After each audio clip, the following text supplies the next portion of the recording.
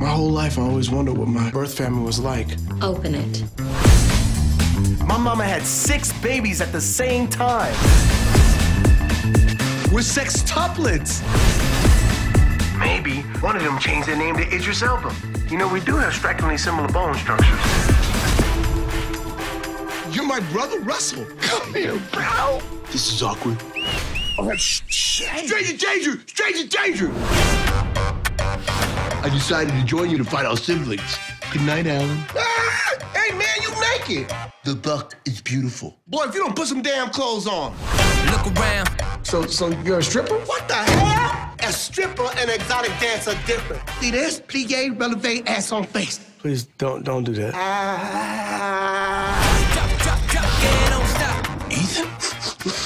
You smell like money, huh? Like you got you got Republican money, huh? Hey, hey, hey. You know I'm a Bernie bro. You shop at Whole Foods. I am free! I was about to El Chapo this bitch. Oh my the God, it feels so Housewives of Atlanta is this. Thank you, brother!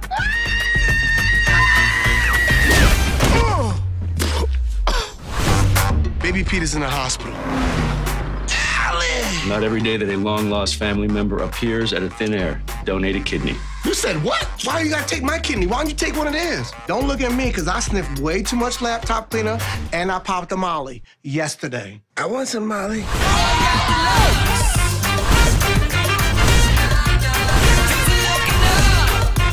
Just gotta find the rest of them.